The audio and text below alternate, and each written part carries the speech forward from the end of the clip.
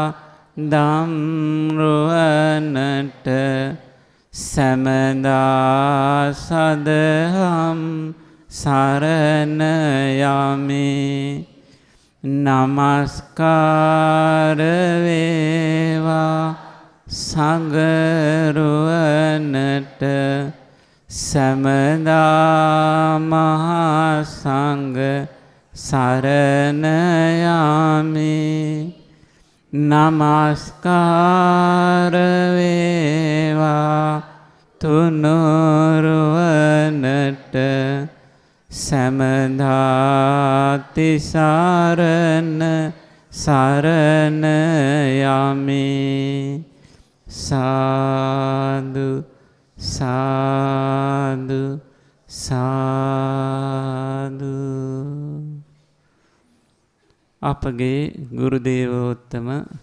පින්වත් ලොකු ස්වාමීන් වහන්සේට අපි සියලු දෙනාගේම নমස්කාරය වේවා. සාදු සාදු. අසපේ වැඩ සිටින පින්වත් ස්වාමීන් වහන්සේලාගෙන් අවසරයි. අද දවසේ බිනර පොය දවසේ මේ සියලු දෙනාම එකතු වුණේ බුදුරජාණන් වහන්සේ වදාළ ප්‍රතිපදාවේ යෙදීම පිණිස. ඒ සඳහා මූලිකම ප්‍රතිපදාව වන සීලයේ පිහිටියා. දැන් සෝදානමේ සිටින්නේ ඒ බුදුරජාණන් වහන්සේ වදාළ ධර්මකාරණා ටිකක් ශ්‍රවණය කරන්න. ඉතින් බුදුරජාණන් වහන්සේ වදාළ ධර්මයේ තියෙන්නේ බුදුරජාණන් වහන්සේ වදාළ ඒ ධර්මයේ සෑම පණවිඩයක්ම අපේ ජීවිතවලට උපකාරක වන ධර්ම තිබෙන්නේ ඒ සූත්‍රවල. ඒ වගේම බුදුරජාණන් වහන්සේ වදාළ විනයේ ඒ වගේම අභිධර්මයේ කියන ත්‍රිපිටකයේ තමයි බුදුරජාණන් වහන්සේ වදාළ ධර්මය ඇතුළත් වෙලා තියෙන්නේ. ඉතින් ඒ දේශනා අතුරින් අද දවසේ සූත්‍ර පිටකයට අයත් මජ්ක්‍ධිම නිකාය දෙක පොත් වහන්සේගේ තියෙන සූත්‍ර දේශනාවක් තමයි ඉගෙන ගන්නෙ. ඉතින් බුදුරජාණන් වහන්සේ වදාළ ඒ සූත්‍ර වලින් අපේ ජීවිතවල තියෙන අඩුපහඩු සියල්ලම අපට පෙන්නලා දෙනවා. ඉතින් අපේ ජීවිත පරිපූර්ණ ජීවිත නෙවෙයි අපට තියෙන්නේ. අඩුපාඩු සහිත විශාල අඩුපාඩු සහිත ජීවිත තමයි අපට තියෙන්නේ. ඉතින් ඒ අඩුපාඩු මොනාද කියලා අපි දන්නේ නැති නිසා ඒ අඩුපාඩුත් එක්කම ජීවත් වෙලා අඩුපාඩුත් එක්කම මැරිලා යනවා.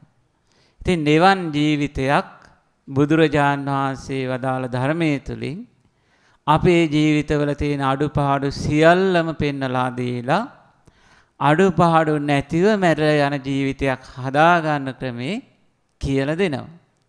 ඉතින් ඒ නිසා අපේ ජීවිතවල අඩුපාඩු නැති ජීවිතයක් හදාගෙන පිරිසිදු ජීවිතයක් හදාගෙන මැරෙන්න උවමනා කරන ධර්මය මේ සූත්‍රවල තියෙනවා. ඉතින් ඒ නිසා අද දවසේ මේ ඉගෙන ගන්න සූත්‍ර දේශනාවත් අපි ඔක්කොටම ඊටාම වැදගත් වටිනා සූත්‍ර දේශනාවක්.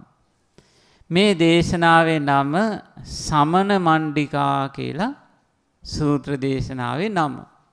එතකොට අහලා පුරුදු නමක් නෙවෙයි. එතකොට සමන මණ්ඩිකා පුත්‍ර පිරිවැජියා නිසා වදාළ දෙසුම තමයි සිංහල තේරුම. එතකොට පරිබ්‍රාජකයෙක් ඉඳලා තියෙනවා සමන මණ්ඩිකා කියන. එතකොට එයා මුල් කරගෙන කරපු දේශනාවට කියනවා සමන මණ්ඩිකා සූත්‍රය කියලා. එතකොට මේ දේශනාව කරන කාලේ බුදුරජාණන් වහන්සේ වැඩ සිටියේ සැවැත් නුවර ජේතවනාරාමයේ. එදා ඒ දිනවල සමන මණ්ඩිකා පුත්‍ර උග්ග මහමහන පිරිවැජියා මල්ලිකා දේවිය විසින් කරන ලද සමයප්පවාදක නම් වූ තින්දු කාචීර ඒක සාලක නම් ආරාමයේ හත්සීයක් පමණ වූ මහත් පිරිවැජයන් පිරිසක් සමඟ වාසය කලාකෙන්. තුර මල්ලිකාදේ විසින් තමයි ඒ ආරාමේ හදලදීල තියෙන්. ඉතින් ඒ ආරාම ඉඳල තියෙනවා පිරිවැජියන් හත්සිය දෙනෙක්. ඒ හත්සේ දෙනාගෙම නායකය තමයි සමන මණ්ඩිකා පුත්‍ර උග්ග මහමාන කියන කෙනා. එදා බුදුරජාණන් වහන්සේගේ ශ්‍රාවකයෙක් හිටියා පංච කංග කියලා වඩු බාසුන් නැහැ කෙනෙක්. තකර බුදුරජාණන් වහන්සේගේ ධර්මය ඔක්කොටෝම පොදුයිනේ ස්වාමීන් වහන්සේලාට විතරක් නෙවෙයි. භික්‍ෂුණීන් වහන්සේලාට විතරක් නෙවෙයි. ගිහි පැවිදි උපාසක උපාසිකා යන සියලු දෙනාටම බුදුරජාණන් වහන්සේ වදාළ ධර්මය පොදුයි. ඒ අතර එක එක රැකියාවන් කලා කියලා මේ ධර්මය වෙනස් වෙන්නේ නෑ. තුර මේ දේශනාවට මුල් වෙන කෙනාගේ ඊළඟ කෙනාගේ නම තමයි පංචකංග වඩු බාසුන්න. වඩු බාසුන්නගේ නම පංචකංග. ඉතින් දව එයා එදා බුදුරජාණන් වහන්සේ දකින්න යන්න හිතේ කල්පනාවක් ඇති වුණා. තකට බුදුරජාණන් වහන්සේ කොයිද ඉන්නේ සැවත් නුවර ජේතවනාරාමි. එතකොට දවල් මධ්‍යහානයේ සැවැත් නුවරින් නික්මුණා. එතකොට පංචගංග වඩු බාසුන් නෑ මේ හේතුවා. භාග්‍යවතුන් වහන්සේ බැහැදකින්න තවම කාලේ නොවී. භාග්‍යවතුන් වහන්සේ භාවනාවෙන් වැඩ වසන වෙලාව වෙන්න ඇති. ඒ වගේම මනෝභාවනයේ භික්‍ෂූන් වහන්සේලා දකින්ට මේක සුදුසු කාලයත් නෙවෙයි. ඒ නිසා ඒ ස්වාමීන් වහන්සේලාත් භාවනා කරනවා ඇති. ඒ නිසා මම මල්ලිකා දේවිය විසින් කරන ලද සමයපවාදක නම් වූ තින්දුකාචීර ඒකසාලක නම් ආරාමේ සමන මණ්ඩිකා පුත්‍ර උග්ගමහාමාන පිරිවැජයාගේ ආරාමයේ ටික වෙලාවක් ගිහිල්ලා ගියා නම් හොඳයි කියලා හිතවිල්ලක් පහළ වුණා. දැන් අපිටත් එහෙ වෙනව නේද? අසපුවට එන්න ඕනේ කියලා කල්පනාවක් එන උදේ පාන්දර. එතකොට කල්පනා කරනවා තව ටිකක් වෙලා තියෙනවනේ. අහල කඩේ රජ්ජෙහිල්ලා පොඩ්ඩක් වෙලා ඉඳලා යන්නම්. කියලා අපිටත් එනවනේ හිතවිලි නේද? එහෙම නැත්නම් අහවල් ගෙදරට ගිහිල්ලා ඒ කට්ටියත් එක් කරගෙන අපි යන් කියලා කල්පනාවල් එනවා. ඉතින් මේ වඩු බාසුන්නෑටත් කල්පනා වුණා මේ සමන මණ්ඩිකා පුත්‍ර පිරිවෙජයගේ ආරාමයට ගිහිල්ලා ටික වෙලාවක් ඉඳලා ගියා නම් හොඳයි කියලා. පස්සේ ඔන්න ඒ පංචගංග වඩුබාසොන්න දැන් මේ සමන මණ්ඩිකා පුත්‍ර ඒ පරිබ්‍රාජකගේ ආරාමයේ වෙත යනවා. යනකොට ඒ පිරිස හරි සද්දි ඉස්කෝලයක් වගේ. කොහොමද සද්ද කරන්නේ. දස කතාවෙන්ද දෙතිස් කතාවෙන්ද. දෙතිස් කතාවෙන් හෝගාල සද්දි. මොනා දෙතිස් කතා ටික. උත්සඩින් මාහඩින් කෑගසමින් නොඒකාකාරයේ තිරිසන් කතාවක් කරමින් හිටිය. ඒ කියන්නේ මොනාද දිස් දෙක ආණ්ඩුව ගැන කතා කරනවා සමහරු. සමහරු කතා කරනවා ප්‍රසිද්ධ හොරුන් ගැන. ඒකත් අයිති දෙතිස් කතාවට.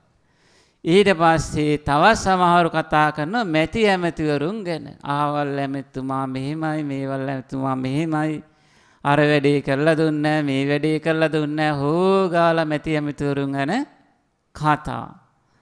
ඊට පස්සේ තවත් පිරිසක් කල්පතා කරන්න ගත්ත ප්‍රසිද්ධ නෙවෙමේ.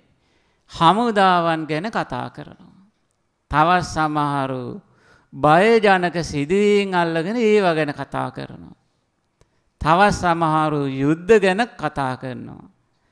තවත් සමහරු ඔක්කොම අතහැරලා කන බොන දේවල් ගැනත් කතා කර කර ඉන්නවා. ඊට පස්සේ බොන දේවල් ගැන තවත් සමහරුන් නිතරම ඇඳුම් ගැන කතා. ඊට පස්සේ තවත් සමහරු කතා කරනවා යාන වාහන ගැන කතා. ඇඳ පුටු ගැන කතා. ගෙවල් දොරවල් හදාගන්න එක ගැන කතා කර. මල් වර්ග ගැන සුවඳ වර්ග ගැන ඥාතීන් ගැන ගම් ගැන කතා කිරීම නියම් ගම් ගැන කතා කිරීම නගර ගැන කතා කිරීම එක එක කතා අපේ ජාතිය මේව තමයි නේද. අපිත් වැඩිපුරම ඔය මාතෘකාද කතා කරන්නේ නැද්ද. වැඩිපුරම අපටත් කතා වෙන්නේ ඔය මාතෘකාවලින් ඔක්කොම හරි එකක් හරි කතා වෙනවා වැඩිපුර. ඔන්න ඊට පස්සේ කතා කරනවා ස්ත්‍රීන් ගැන සමහරු කතා කරනවා. පුරුෂයන් ගැන වීරයන් ගැන කතා කරනවා. පාරවල් ගැන පැන්තොටේ කතාවන් ගැන තවත් සමහරු මීගිය ඥාතීන් ගැන නානා නොඒකාකාරයේ තිරිසන් කතාවන් කතා කිරීම තමල් ලෝකය ගැන කතා මොහොද ගැන කතා මෙසේ මෙසේ ඇති වූයේ නැති වූයේ යනුවෙන් හිස් තිස් දෙක කතා විශාල වශයෙන් කතා කරමින් මහා සද්ධයක් දැන් මේ ආරාමි තියෙනවා. හැබැයි අපේ ආරාමි නෑ නේද? අදනම් හරි නිහඬයි. එදා එහෙම නෑ ඒ සමන මණ්ඩිකා පුත්‍ර කියන පිරියජයගේ ආරාමේ විශාල සද්දයක්. ඉතින් සමන මණ්ඩිකා පුත්‍රේ පරිබ්‍රාජකයාගේ දැක්කා වඩු බාසුන් නෑ ඈතින් එනවා. එනකොට මොකද වුනේ? අර පිරිසට කියනවා හා හා මිත්‍රවරුනි ශබ්ද කරන්න එපා. ඔන්න ගෞරවේ ඒ කාලේ. හා හා මිත්‍රවරුනි සද්ද කරන්න එපා කෑ ගහන්න එපා. අන්න එනවා ශ්‍රමණ ගෞතමයන්ගේ ශ්‍රාවකයෙක්. පංචකංග කියන වඩු බාසුන්න අපේ ආරාමට එනවා ඒ නිසා සද්ද කරන්න එපා කිව්වා. ඔන්න ගෞරවේ ඒ කාලේ. අද සමහර වෙලාවට ස්වාමීන් වහන්සේනමක් වඩිනකොටවත් නිහඬ වෙනවා කියන එක වෙන්නේ නෑ. බුද්ධ කාලයේ බුදුරජාණන් වහන්සේගේ ගිහි ශ්‍රාවකයෝ පුදුම ගෞරවයක් අනිත් ආගම් වලින් තිබිලා තියෙනවා. ඒ ගිහි ශ්‍රාවකයා එනකොට අර ඔක්කොටම සාද්ද කරන්න එපා කිව්වා. සියලු දෙනාම නිහඬ වුණා. ඊට පස්සේ ඒ සමන මණ්ඩිකා පුත්‍ර කියනවා වඩු දෙරිතුම ශ්‍රමණ ගෞතමයන්ගේ පංචකංග වඩු වඩු ආසුන්නේ ඔවුන් ගිහි මේ ගිහි ගෙදර සුදු වත් හඳිනා. ගිහි ශ්‍රාවකයන් සැවැත් නුවර සිටිනවා නම් ඒ වඩු බාසුන්න ඇත ඔවුන් අතර කෙනෙක්. ඒ ආශ්මතුන් නිශ්ශබ්දතාවයට හරී කැමති නිශ්ශබ්දතාවයේ වර්ණනා කරනවා ඒ නිසා නිහඬවීම තමයි හොඳ කියලා කිව්වා ඔක්කොම නිහඬ වුණා. ඊට පස්සේ ඔන්න වඩු බාසුන් නැහැ දැන් ආරාමය ඇතුළට ආවා. ඇවිල්ලා පැත්තකින් වාඩි වෙලා පිළිසඳර කතාවේ යෙදුණා. යෙදුනට පස්සේ දැන් සාමාන්‍ය කෙනෙක් ආවට පස්සේ දහම් කතාවනි කරන්නේ අපි නේද? එතකොට ඒ ආරාම වලටත් ඒ කාලේ ගියාට පස්සේ ඒගොල්ලෝ ඉගෙන ගන්න ධර්මය අනිත් අයට කියලා දෙනවා. එතකොට මේ පන් මේ සමන මණ්ඩිකා පුත්‍ර කියනවා වඩු බාසුන්නහේ මං සතර දහමකින් සමන්විත පුජ්‍යලයා කරුණු හතරකින් යුක්ත පුජ්‍යලයා කුසල සම්පන්නත් පරම කුසල් තිබෙන උත්තම ප්‍රාප්තියට පත් කිසිවාදයකින් සෙලවිය නොහැකිවුත් ශ්‍රමණයා කියලා පෙන්නලා දෙනවා. එතකොට කරුණු හතරක් තියෙනවා නම් ඒ කෙනා කවුරු වගේද? කුසල සම්පන්න. උත්තම ප්‍රාප්තියට පත්. කිසි වාදයකින් කාටවත් හොල්ලන්න බැරි ශ්‍රමණයා කියලා පෙන්නලා දෙනවා කිව්වා. ඒ කරුණු හතර තමයි පළවෙනි එක තමයි කයින් කෙරෙන පව්කම් කිසිවක් කරන්නේ නැත. පළවෙනි එක. දෙවෙනි එක තමයි පවිටු වචන කියන්නේ නැහැ. නපුරු වචන කියන්නේ නැහැ. පවිටු සංකල්ප කතා කල්පනා කර කර ඉන්නෙත් නැහැ. ඒ වගේම පවිටු ජීවිතයක් මිත්‍යා ජීවයෙන් ජීවත් වෙන්නෙත් නැහැ. මෙන්න මේ කරුණු හතරෙන් යුක්ත කෙනා තමයි මම පණවන්නේ. කවුරු කියලාද? කුසල සම්පන්න, කුසල් පිරිච්ච, පරම කුසල්, උපරිම උත්තරීතරම කුසල් වල කෙරවලටම ගිය කෙනා. ඒ වගේම උත්තම ප්‍රාප්තියට පත් කිසිම වාදයකින් කාටවත් පරද්දන්න බැරි කෙනා කියලා පනවන්නේ ඔය කරුණු හතරෙන් යුක්ත කෙනා කියලා. දැන් එතකොට මේ කරුණු හතරෙන් යුක්ත අය ඒ කාලේ හික්මවලා තියෙන මේ ශ්‍රාවකයෝ උත්තම කුසල් තියෙන කුසල් වල පරතරටම ගිය කාටවත් වාදයකින් පරද්දන්න බැරි කෙනා කියලා තමයි පනවන්නේ. එතකොට මේ වඩු බාසුන් ඇයට ඉතින් ශ්‍රාවකයෙක් වුණාට ලොකු දහම් දැනුමක් තිබ්බේ නැහැ. මෙයා මොකද කරේ මේ සමන මණ්ඩිකා පුත්‍ර ඌ මේ උග්ග මහමාන පිරිවැජියගේ අදහස පිළිගත්තෙත් නැහැ. ප්‍රතික්ෂේප කළෙත් නැහැ. හොඳට මතක තියාගත්තා. මතක තියාගෙන කල්පනා කළා දැන් එහෙනම් භාග්‍යතුන් වහන්සේ දකින්න යන්න සුදුසු කාලයයි. දැන් බුදුරජාණන් වහන්සේ ළඟට යන්න කතාවකුත් අහන් ප්‍රශ්නයකුත් තියෙනවා. දැන් එහෙනම් බුදුරජාණන් වහන්සේ දකින්න යන්නේක තමයි හොඳ කියලා කල්පනා වෙලා කිසිවක් උත්තර දුන්නේ නැහැ. එහෙමම නැගිට්ටා. එහෙනම් සමන මණ්ඩිකා පුත්‍රයනි මම යන්නම් කියලා එහෙමම නැගිටලා දැන් බුදුරජාණන් වහන්සේ දකින්න යනවා. ඊට පස්සේ දැන් බුදුරජාණන් වහන්සේ ළඟට ගිහිල්ලා මේ වඩු බාසුන් නැහැ. මේ සමන මණ්ඩිකා පුත්‍රත් එක්ක විච්ච කතාව ඔක්කොම බුදුරජාණන් වහන්සේට කිව්වා. මොකද්ද කිව්වේ විස්තරේ එහෙනම් මොකක් කියන්නේ නැතිද? අමතක වෙන්නේ නැතිද මතක තියෙන්නේ නැතිද? අපට නම් මේ දැන් කියප එක තා පොඩ්ඩකින් අමතකයි. මෙයාට අමතක නෑ. මෙයා ගිහිල්ලා කියනවා ස්වාමීනි මං ගියා මේ සමන මණ්ඩිකා පුත්‍ර පිරිවැජියාගේ ආරාමෙට. ඉතින් ගියාට පස්සේ යා කිව්වා මට මෙහෙම. කරුණු හතරකින් යුක්ත කෙනා පරම කුසල් තියෙන උත්තම කුසල් තියෙන උත්තම ප්‍රාප්තියටපත් කිසි වාදයකින් පරද්දන්න බැරි කෙනා කියලා කරුණු හතරක් පෙන්නනවා කියලා. මොනාදේ කරුණු හතර කයෙන් පවකං කරන්නේ නැත. වචනයෙන් පව් වැඩ කරන්නේ නෑ. හිතෙන් පවිටු සංකල්ප කල්පනා කරන්නේ නෑ. මිත්‍යා ජීවෙන් ජීවත් වෙන්නේ නෑ. ඕන් ඔය කරුණු හතර තමයි එයා මට පෙන්නලා දුන්නේ. හැබැයි ඉතින් වැඩි විස්තර මොනවත් කිව්වේ නෑ. මං ඉතින් ඒක පිළිගත්තෙත් නෑ ප්‍රතික්ෂේප කළෙත් නෑ බුදුරජාණන් වහන්සේ හම්බ වෙන්න ආවා කිව්වා. බුදුරජාණන් වහන්සේ මේක අහගෙන ඉඳලා හරි ලස්සන උත්තරයක් දෙනවා. මොකද දීප උත්තරේ භාග්‍යවතුන් වහන්සේ දේශනා කරනවා වඩු බාසුන් නැහැ. පින්නත් වඩු දෙටුව. එහෙමනම් මිතා බාල වූ උඩුකුරුව සයනය කරන ලදරු සිඟිත්තාත මේ පරම කුසල් තියෙන කෙනෙක් වෙන්න උන්. කියන පූංචි ඉපදිච්ච පූංචි ළමයි ඔය කියන විදිහට නම් පරම කුසල් තියෙන්නත් ඕනි. උත්තම කුසල් තියෙන්නත් ඕනි. උත්තම ප්‍රාප්තියට පච්චනා වෙන්නත් ඕනි. කිසිම කෙනෙක්ට වාදයකින් පරද්දන්න බැරි කෙනෙක් වෙන්නත් ඕනි කිව්වා. කවුද? පුංචි ළමයි. ඔය කියන විදිහට. බුදුරජාණන් වහන්සේ වදාලා වඩු බාසුන්න හැට කියනවා.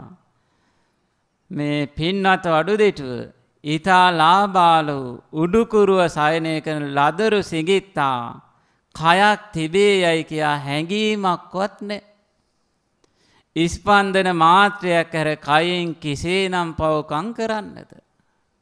හැම් පූන්ති ළමයි කයෙන් පවකං කරනවාද. සත්තු මරණවාද. හොරකං කරනවාද. වැරදි කාමසේනය දෙනවද. කයින් පව වැඩ කරන්න.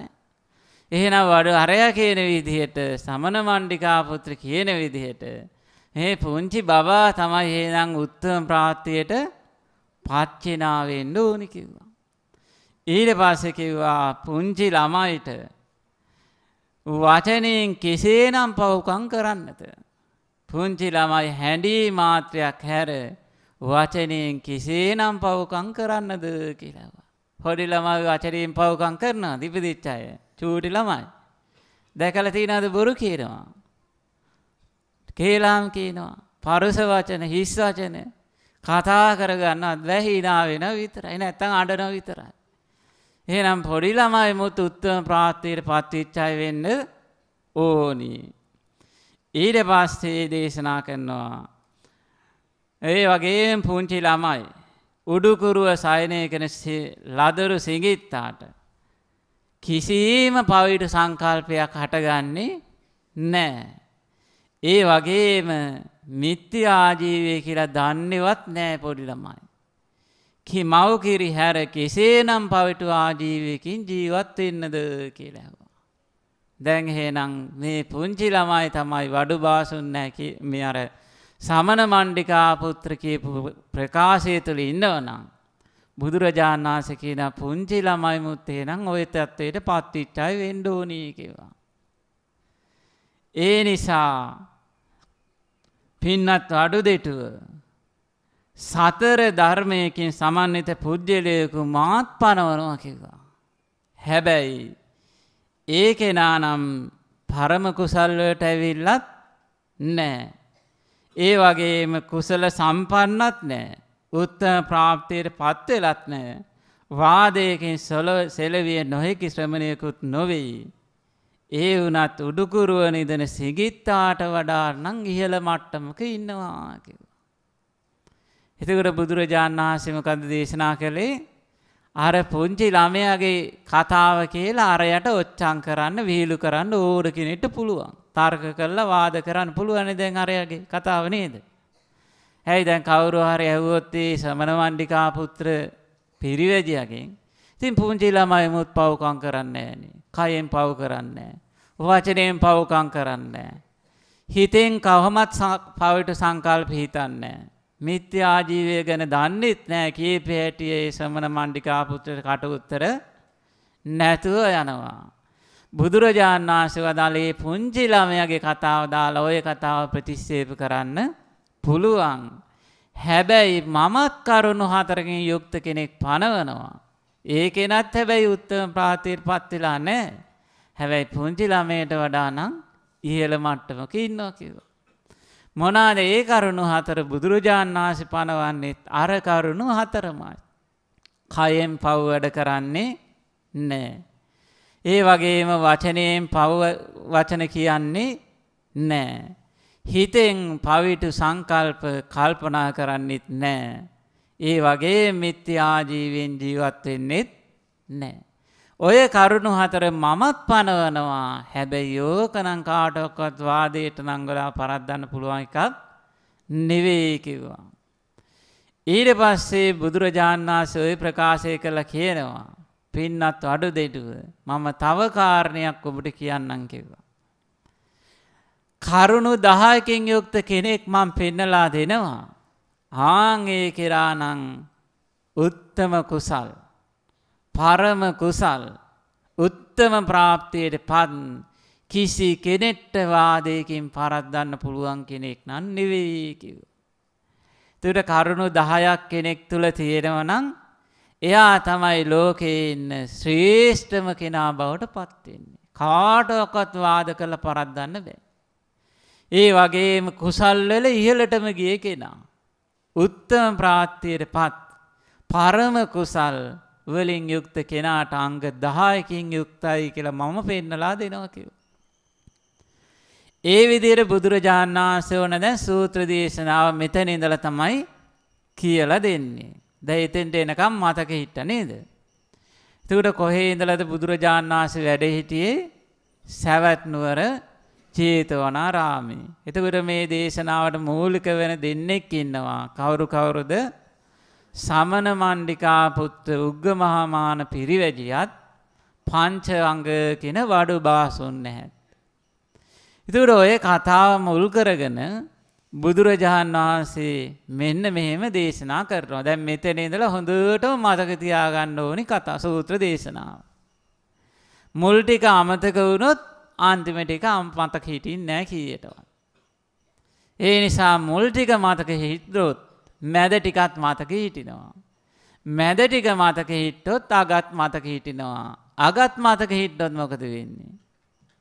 මුලත් මැදත් අගත් මතක නම් සූත්‍රයේම මතක හිටිනවා. එතකොට ඔන්න මේක එක කාරණයයි පළවෙනි එක ඔන්න පින්නත් වඩු දෙටුව මේවා අකුසල ස්වභාවයන් කියලා කෙනෙක් දැනගන්න ඕනි කිව්වා. එතකොට අකුසල ස්වභාවයන් මොනවාද කියලා අපි දැනගෙන ඉන්න ඕනේ. ඉතින් අපි ගොඩාක් වෙලාවට අපේ හිතේ අකුසල් හට ගන්නවා. අකුසල් නැති වෙනවා. හට ගන්නවා දන්නෙත් නැහැ. නැති වෙනවා දන්නෙත් නැහැ. අකුසල් මුල් කරගෙන ගොඩාක් පවකම් සිද්ධ වුණාට පස්සේ සමහර වෙලාවට මතක් වෙනවා. අනේ මගේ අතින් අර වැරැද්ද උනානේ කියලා.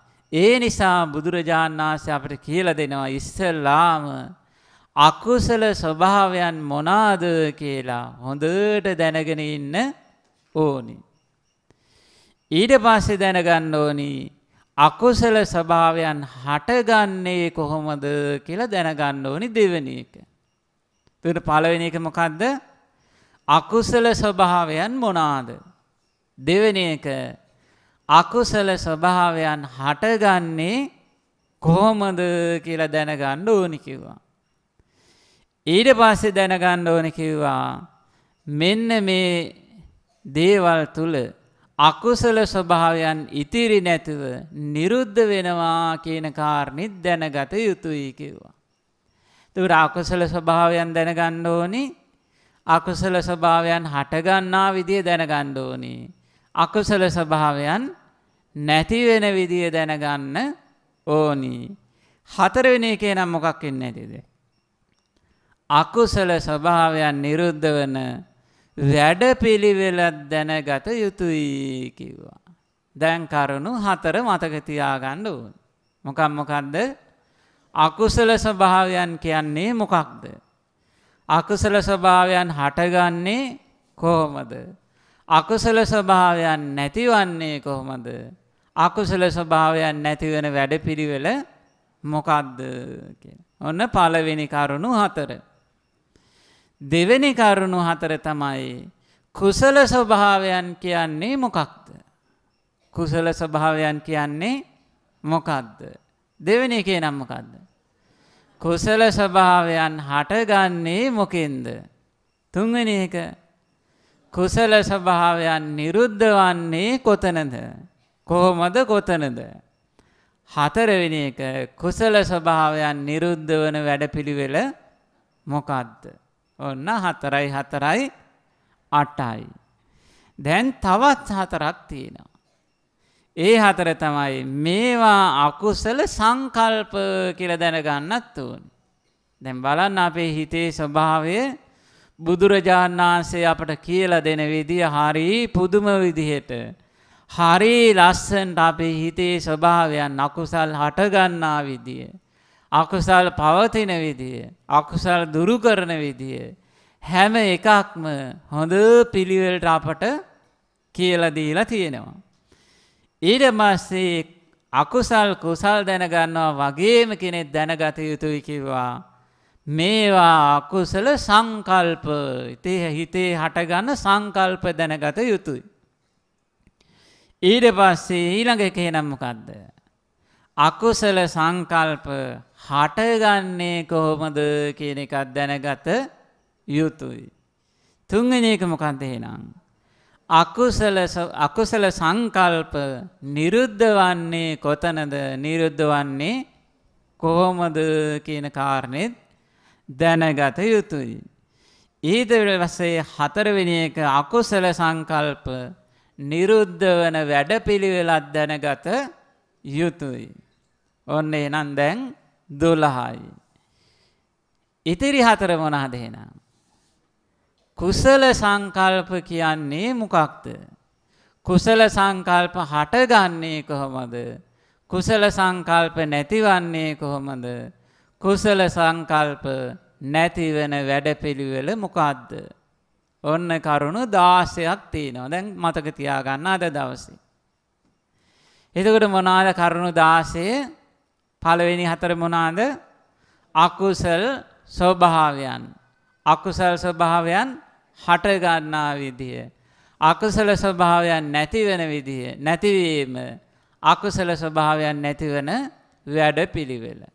දෙවෙනි එක කුසල ස්වභාවයන් කියන්නේ කුමක්ද? කුසල ස්වභාවයන් හටගන්නේ කොහොමද? කුසල ස්වභාවයන් නැතිවන්නේ කොතනද? කුසල ස්වභාවයන් නැතිවන මාර්ගය කුමක්ද? ඊට පස්සේ අකුසල සංකල්ප මොනාද? අකුසල් සංකල්ප හටගන්නේ කොහොමද? අකුසල සංකල්ප නැතිවන්නේ කොතනද? අකුසල සංකල්ප නැතිවන මාර්ගය. ඊට පස්සේ කුසල සංකල්ප මොනාද? කුසල සංකල්ප හටගන්නේ කොහොමද? කුසල සංකල්ප නැතිවන්නේ කොහොමද? කුසල සංකල්ප නැතිවන මාර්ගය මොකක්ද? දැන් හිතට ආවද ඒ කරුණ ටික නැද්ද? මතක හිට්ටා දැන් හිතෙන් කල්පනා කරන මොනාද කුසල සංකල්ප අකුසල සංකල්ප කියලා කල්පනා කරන්න ඕනේ. කුසල ස්වභාවයන් කියන්නේ මොනාද? අකුසල ස්වභාවයන් කියන්නේ මොනාද කියලා හිතෙන් කල්පනා කර කර අහන්න ගත්තොත් මතක හිටිනවා. නැත්තම් මේක කටපාඩම් කරගන්නවා කියලා මතක තියාගෙන හැගුවොත් සමහරට මතක හිටින්නේ නැතුව යනවා. ඉතින් බුදුරජාණන් වහන්සේ කාලේ ධර්මය අහලා තියෙන්නේ කල්පනා කර කර. දැන් බුදුරජාණන් වහන්සේ අහනවා ඇස නිට්ටියද අනිත්‍යද කියලා. එතකොට කට වචනෙට කියන්නේ ඒ කාලේ. අපි කියන්නේ පුරුද්දටනේ අනිත්‍යයි කියලා. ඒ කාලේ උත්තර දෙන්නේ අනිත්‍යයි කියලා තේරුම් අරගෙනම කියනවා ස්වාමීනි ඇසනම් අනිත්‍යයි කියනවා. ඊට පස්සේ බුදුරජාණන් වහන්සේ අහනවා ඇස අනිත්‍යයි නම් දුකයිද සැපයිද කියනවා. එතකොට ඒ ශ්‍රාවක උත්තර දෙනවා ස්වාමීනි මේක වෙනස් වෙන එකක් නම් කොහේ සැපයක් තියෙන්නද? ඒ නිසා මේක වෙනස් වෙනවා නම් ඇස ඒකාන්තයෙන්ම දුකක්මයි දෙන්නේ. ඊට පස්සේ බුදුරජාණන් වහන්සේ ආනෝ එහෙනම් ඔය ඇස් දෙක දුකයි නම් ඔබට ඕන විදිහට පවත්ත ගන්න පුළුවන්ද? ස්වාමීනි කෙසේනම් පවත්වන්නද මට ඕන විදිහට මේ ඇස් දෙක නම් තියාගන්න බෑ කියලා කල්පනා කරලා තමයි උත්තර දෙන්නේ. ඉතින් අද අපි උත්තර දෙන්නේ කල්පනා කර කර නෙවෙයි. කල්පනා කරන්නේ මොනවාද? ගීදර ගැන හිත හිතා වැඩ කටයුතු ගැන හිත හිතා නැත්තම් මොකක් හරි කල්පනා කර කර උත්තර දෙනවා ඇසනම් අනිත්‍ය තමයි කියලා. නේද? බලන්න තමන්ගේ හිත ගැන තමන් පොඩ්ඩක් විමසලා බලන්නකෝ. නිතරම දහන බණපදයට හිත යන ස්වභාවය අඩුයි. වැඩිපුරම බාහිර අරමුණු ඔස්සේ තමයි අපේ කල්පනාව යන්නේ. ඉතින් ඒ නිසා අද මේ සූත්‍ර දේශනාව කල්පනා කර කරම මොනවාද මේ පරම කුසල් කියන්නේ? උත්තම කුසල් කියන්නේ මොනවාද? වාදයකින් පරද්දන්න බැරි කෙනා කවුද? හොඳට කල්පනා කර කර ධර්ම දේශනාව ඇහුවොත් හොඳට හිතේ මතක හිටි. හැබැයි බුදුරජාන් වහන්සේ අපට කල්පනා කරන්න දීලා නිකං හිටියේ නෑ. ආයෙනම් දැන් කල්පනා කළා තේරුම් ගන්න කියලා කිව්වේ නෑ. බුදුරජාණන් වහන්සේ එකින් එක අර්ථ අපට විස්තර කරලා ඔන්න දෙනවා. ඔන්න ඉස්සල්ලාම ප්‍රශ්න හතර මොනාද? අකුසල ස්වභාවයන් කියන්නේ මොකක්ද? අකුසල ස්වභාවයන් හටගන්නේ කොහොමද? අකුසල ස්වභාවයන් නැතිවන්නේ කොතනද? අකුසල ස්වභාවයන් නැතිවන මාර්ගය මොකද්ද? ආ දැන් කියන්න බලන්න එහෙනම් අකුසල ස්වභාවයන් කියන්නේ මොකද්ද? දැන් කල්පනා කරලා උත්තර දෙන්න ඕනේ. වැරදුනොත් හරියනවා සූත්‍ර කියනකොට හරියනවා. ඕන බලමු එහෙනම් පින්නත් වඩු දෙටුව අකුසල ස්වභාවයන් අකුසල ස්වභාවයන් කියන්නේ මෙන්න මේවයි. මොනාද අකුසල ස්වභාවයන් කියන්නේ අකුසල කාය කර්ම. අකුසල වචී කර්ම අකුසල මනෝකර්ම නෙවෙයි මේ සූත්‍රයේ විස්තර කරන්නේ. පවිටු ජීවිතේ මිත්‍යා ජීවය ගැන තමයි මෙතන විස්තර කරන්නේ. එතකොට මිත්‍යාජයේ පවිටු සංකල්ප මිත්‍යාජීවයෙන් ජීවත් වෙන කල්පනා කරන්නේ වැරදි විදිහට කල්පනා කරන නිසා. එතකොට අකුසල කාය කර්ම අකුසල වචී කර්ම මිත්‍යා ජීවේ තියෙනවා මේවාට තමයි අකුසල ස්වභාවයන් කියලා කියන්නේ කිව්වා. එතකොට කයෙන් කරන පවකම් මොනවාද? ප්‍රාණඝාතී සත්තු මැරීම, හොරකම් කිරීම, වැරදි කාම සේවනයේ යෙදීම. වචනයෙන් කරන වැරදි තමයි බොරු කීම, කේලාම් කීම, පරුස වචන කීම, හිස් වචන කීම. මිත්‍යා ජීවය කියන්නේ මොකද්ද? වැරදි පිළිවෙලට ජීවිකාව පැවැත්වීම. වැරදි පිළිවෙලට කියන්නේ මොකද්ද? අධාර්මික ක්‍රමෙන් ජීවිතේ පවත්වා ගැනීම. අධාර්මික ක්‍රමය කියන්නේ මොකද්ද? සත්තු මරලා, හොරකම් කළලා, වැරදි වැඩ කරලා බොරු කියලා මිනිස්සු රවට්ටලා වැරදි ක්‍රමයට සල්ලි හම්බ කරනවනං ආං ඒකට කියනම් මිත්‍යා ආජීවී කියල. ඒකත් අකුසල ස්වභාවයන්ට තමයි අයිති. දැන් ඔන්න අපේ ජීවිතයේ තියෙන වැරදි තුනක්. මොනාද වැරදි තුන කයෙන් වැරදි කරනවා අපි වචනයෙන් වැරදි කරනවා මිත්‍යාජීවෙන්දිත් ආන්ගේ වැරදි තුන හරි ගස්ස ගන්න ඕන. එතකොට ඒවා වැරදි දේවල් කියලා දැනගන්න ඕනි පළවෙනි එක. සත්තු මැරීම හොඳ දෙයක් නෙවෙයි. හොරකම් කිරීම හොඳ දෙයක් නෙවෙයි. වැරදි කාමසේවනයේ යෙදීම හොඳ දෙයක් නෙවෙයි. බොරු කීම, කේලාම් කීම, පරුස වචන, හිස් වචන ඒ වගේම මිත්‍යාජීවයේ අකුසල ස්වභාවයන් කියලා දැනගත යුතුයි. දැන් දන්නේ නැහැනේ ගොඩක් දෙනෙක් නේද? හිස් වචන කතා කරනවා හොගාලා. හැබැයි පව් සිද්ධ වෙනවා කියලා දන්නේ නැහැ. දැන් දෙතිස් කතා හොගාලා කර කර ඉන්නවා. මේ දෙතිස් කතාවෙන් පාපයක් සිද්ධ වෙනවා, පවක් සිද්ධ වෙනවා කියලා බොඩ දෙනෙක් දන්නේ නැහැ. ඒ නිසා බුදුරජාණන් වහන්සේ දැනුවත් කරනවා අපි මේ පරුස වචන හිස් වචන ඒ වගේම කේලාම් බොරු මේ සියල්ලම අකුසල ස්වභාවයන් කියලා අපි දැනගත යුතුයි කියලා. එතකොට එහෙනම් පළවෙනි දැනගත යුතු කාර්යය මොනවාද? අකුසල ස්වභාවයන්. මේවා අකුසල්. අකුසල් වලින් ලබා දෙන්නේ සැප විපාක දුක් විපාකද? දුක් විපාක ලබා දෙනවා මේ අකුසල් වලින්. ඒ නිසා අකුසල් කළොත් විපාක හැටියට දුක ලැබෙනවා නම් දුක ලැබෙන ලෝක හතරක් තියෙනවා. ඔය හතරේ තමයි Tamanට උපදින්න සිද්ධ වෙන්නේ කියලා අකුසල ස්වභාවයන් හොඳට දැනගන්න ඕනි. එතකොට තමයි අකුසල ස්වභාවයෙන් බේරෙන්න Tamanගේ හිත නැමෙන්නේ. අකුසල් මේවා කියලා දන්නේ නැත්තම් අකුසල් කරනවා කුසල් කියලා හිතාගෙන.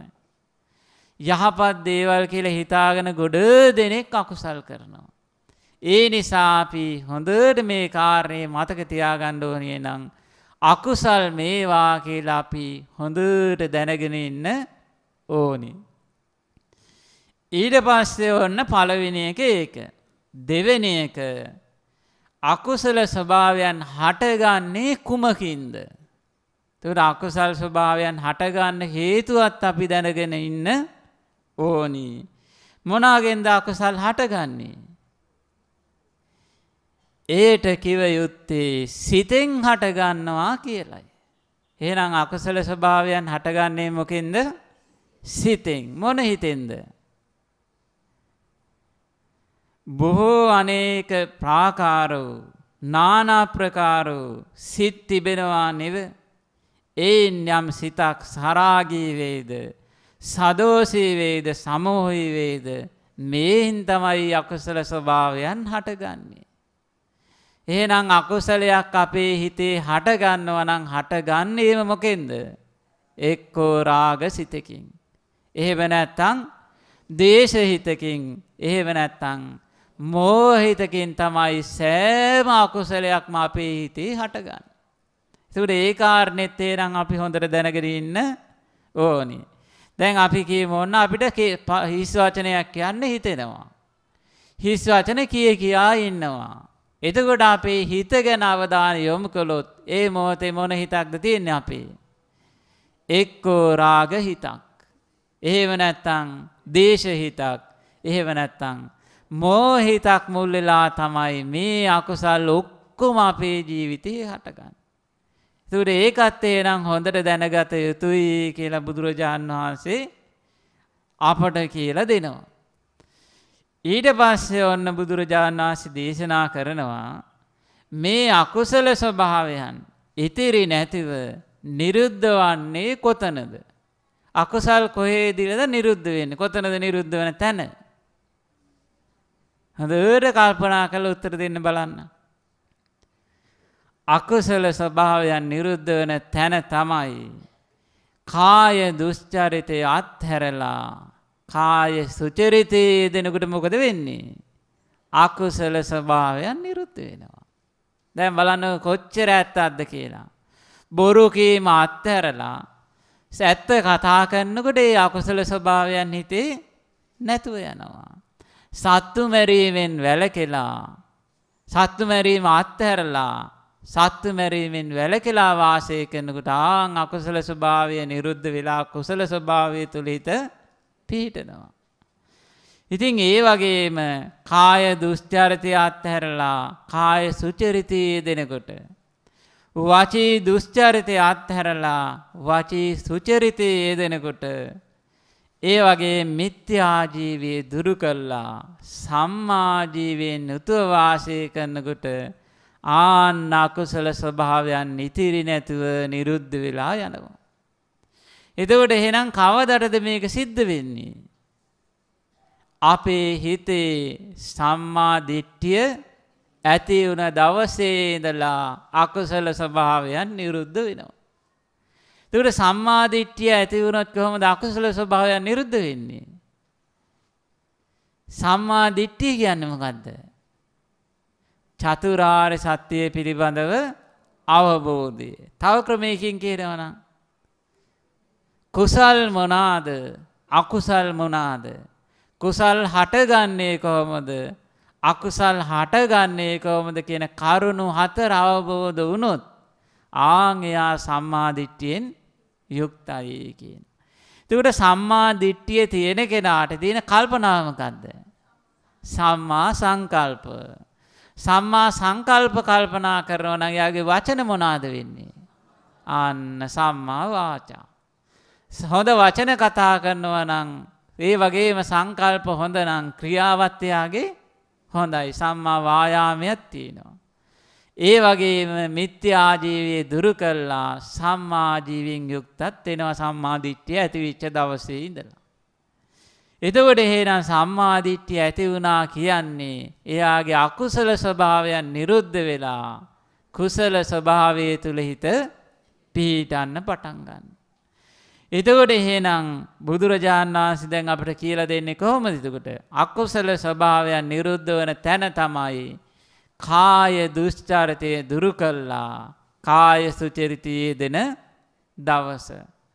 ඒ වගේම වචී දුෂ්චරිතය දුරු කල්ලා වචී සුචරිතයේ දෙන දවසට මිත්‍යාජීවේ දුරු කල්ලා සම්මාජීවෙන් යුක්ත විච්ච දවසට අන්න අකුසල ස්වභාවයන් නිරුද්ධ වෙලා යනවා.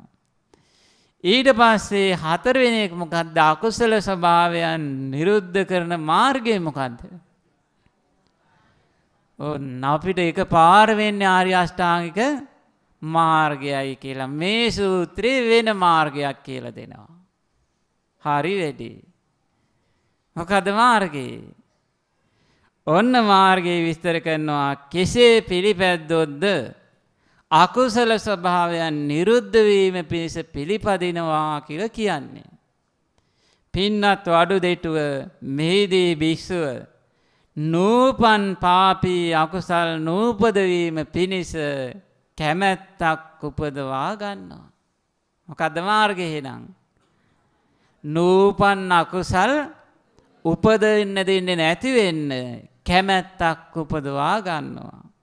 වීරි වෑයම් කරනවා වීරි ආරම්භනවා සිත දැඩි කරගන්නවා බලවත් ලෙස වීරිය ගන්නවා අන්න පළවෙනි වීරිය. එහෙනම් සතර සම්‍යක් ප්‍රදාන වීරියෙන් තමයි මේ අකුසල ස්වභාවයන් නිතිරි නැතුව නිරුද්ධ කරන මාර්ගයේ හැටියට විස්තර කරන්නේ. එතකොට සතර සම්‍යක් ප්‍රදාන වීරිය ආර්ය අෂ්ටාංගික මාර්ගයට ආයිතිද නැද්ද? ආයිති මොකක් හැටියටද? ආන සම්මා වායාමයේ හැටියට තියෙනවා. එහෙනම් ආර්ය අෂ්ටාංගික මාර්ගයෙන් බැහැර වෙච්ච එකක් නෙවෙයි සතර සම්‍යක් ප්‍රදාන වීරිය කියලා කියන්නේ. එතකොට සතර සම්‍යක් ප්‍රදාන වීරිය මොකද්ද? නූපන් අකුසල් නූපද වීම පිණිස වීරිය කරනවා. දෙවෙනි එක උපන් අකුසල් දුරු කරන්න වීරිය කරනවා. තුන්වෙනි එක නූපන් කුසල් උපදව ගන්න වීරිය කරනවා. හතරවෙනි එක උපන් කුසල් පිරිහෙන්න දෙන්නේ නැතිව දියුණු කරගන්න කැමැත්තක් ඇති කරන. දැන් හරි වටිනවා මේ සූත්‍රය. දැන් අකුසල් දුරු කරන්න කුසල් උපදව ගන්න ඉස්සල්ලාම කෙනෙක්ට ඕනි කැමැත්තක්. කැමැත්ත නැත්තම් ගමන යන්න බෑ. දැන් තමන්ගේ හිතේ ඔන්න සතෙක් මරන්න හිතෙනවා. ඒ සතා මරන්න ආපු සිතවිල්ල දුරු කරන්න ඉස්සල්ලාමයාට කැමැත්තක් ඕනි. කොහොමද කැමැත්ත එන්නේ? අකුසල් ස්වභාවයක් තමයි මේ සත්තු මැරීම. සත්තු මැරුවොත් ඒක අකුසලයක් කියලා යාගේ දැනීමක් තියෙන්න දැනගැනීමක් තියෙන්න ඕනි. විශ්වාසයක් තියෙන්නත් ඕනි. ආන් ඒ විශ්වාසය දැනුමත් මුල් කරගෙන යාට කැමැත්තක් උපදිනවා. එහෙනම් සත්තු මරණ එක හොඳ වැඩක් නෙවෙයි. හොරකම් කරන එක වැරදි වැඩක් කියලා දැනුමක් තියෙන්නත් ඕනි. දැනගෙන ඉන්නත් ඕනි. විශ්වාසයක් තියෙන්නත් ඕනි. ආන් ඒ දැනුමයි විශ්වාසයයි මුල් කරගෙන යා සත් හොරකම් කිරීමෙන් වළකිනවා. වැරදි කාමසේවනයේ යෙදෙන එක වැරදි දෙයක් පව් වැඩක් කියලා යාට දැනුමක් තියෙන්නත් ඕනි. මේකෙන් පව් සිද්ධ වෙනවා කියලාට විශ්වාසයක් තියෙන්නත් ඕනේ. සමහරවිට දැනුම තියෙනවා. හැබැයි විශ්වාසේ නැහැ. එහෙම තිබ්බත් කැමැත්ත උපදින්නේ මේක දුරු කරන්න. දැන් බලන්නකො හරි ලස්සනට බුදුරජාණන් වහන්සේ දහම් කරුණු අපට විස්තර කරලා දෙනවා. ඒ වගේම බොරු කීමෙන් වළකින්න. මේ බොරු කීම වැරදි වැඩක් කියලා Tamanට දැනගෙන ඉන්න ඕනි. ඒ වගේ බොරු කීමෙන් පව් සිද්ධ වෙනවා කියලා ලොකු විශ්වාසයක් හිතේ තියෙන්න ඕනි. කේලාම් කීම, පරුස වචන කීම, හිස් වචන කතා කර කර ඉන්න එක වැරදි දෙයක්. මේකෙන් අකුසල් සිද්ධ වෙන්නේ කියලා ඒක දැනගෙන ඉන්නත් ඕනි. ආන් ඒක පව් සිද්ධ වෙනවා කියලා විශ්වාසයක් තියෙන්නත් ඕනි. ආන්ගේ විශ්වාසයයි දැනීමයි මුල් කරගෙන යාට කැමැත්තක් උපදිනවා. මෙන්න මේ අකුසලේ මං කරන්න නම් හොඳ දෙයක් නෙවෙයි කියලා ආන් අකුසලේ දුරු කරන්න කැමැත්ත උපදිනවා. කැමැත්ත ඉපදිච්ච හැටිය දෙවෙනි එක පිටපස්සින් එනවා. ආය ආමුතුවෙන් ආය මහන්සි ගන්න ඕනි නෑ. මොකද දෙවෙනි එක? වෑයම් කරනවා. චන්දං ජනේති වායමති වීයම් කරනවා මේ අකුසලේ දුරු කරන්න ඕනි මං කියලා. ව්‍යායම් කරනකොට මොකද කරන්නේ ඊළඟ එන්නේ. විරියන් ආරම්භති වීරිය පටන් ගන්නවා මේක නම් අකුසලයක්. මේක පැවැත්තුවොත් මට අයහපතක්මයි සිද්ධ වෙන්නේ දුකක්මයි ඇතිවන්නේ. ඒ නිසා මේ අකුසල් දුරු කළ යුතුයි කියලා වීරිය පටන් ගන්නවා. පටන් ගත්තට පස්සේ සිත දැඩි කරගන්නයි සිත වෙනස් වෙනවනේ. වීරිය පටන් ගන්නවා අකුසලේ දුරු කරන්න. හැබැයි සුළු මොහොතකින් හිත වෙනස් වෙනවා. දැන් බලන්න ඕන දානයක් දෙන්න හිතෙනවා. හිතෙත් හැටියේම ඔන්න දැන් පළවෙනි හිත පහළ වුණා. ටික වෙලාවක් යනකොට නෑ ඕන්න වෙන කාට හරි දෙනවා. ඔන්න දෙවෙනි හිත පවත්ත ගන්න වීරිය නෑ. තුන්වෙනි එක ඊට පස්සේ කොහොමවත් හටගන්නේ නෑ. සමහරට ඕන පළවෙනි එක පටන් ගන්න ඕන දානයක් දෙන්න ඕනේ. දෙන්න ඕනේ කියලා හිතවිල්ල පහළ දානයක් දෙනවා. තුන්වෙනි හිත බැරි වෙනවා හදාගන්න. මොකද්ද? දාන දීලා හිතනවා අපරාධි දාන දුන්නේ. ආන් එතෙන්ද වීරිය පවත්ත ගන්න බැරුව යනවා. ඉතින් ඒ නිසා අකුසල් දුරු කරන්නත් වීරිය පටන් ගන්නත් ඕනි. හොඳට හිතේ හයිය තියෙන්න ඕනි මම නම් මේක ජීවිතේ ගියත් මේ වැඩේ නම් කරන්නේ නෑ. ඒ වගේම සිත දැඩි කරගත්තට පස්සේ වීරිය තවත් වැඩි වෙනවා. බලවත් වීරිය යොදවනවා. එතකොට මොකද වෙන්නේ? උපන් අකුසලේ දුරු වෙලා කුසල් උපදිනවා අපේ හිත තුල. එහෙනම් අකුසලයන් දුරු කරන්න මොකක් මොකද ඕනි? කැමැත්ත ඕනි. ඊට පස්සේ අකුසලයක් දුරු කරන්න මොනවා මොනවද ඕනි දැන්? කැමැත්තක් ඕනි. වීරිය පටන් ගන්න ඕනි. සිතේ හයියක් තියෙන්න ඕනි. බලවත් වීරියක් තියෙන්නත් ඕනි. තවත් දෙකක් ඕනි. ඒ මොකද්ද? මේක අකුසලයක් කියලා දැනගෙන ඉන්නත් ඕනි.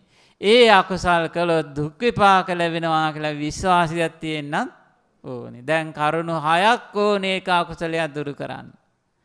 ලේසි වැඩක් දමාරු වැඩක්ද මෙහෙම බලාගෙන ගියොත් මේක නම් කරන්න බෑ වැඩි.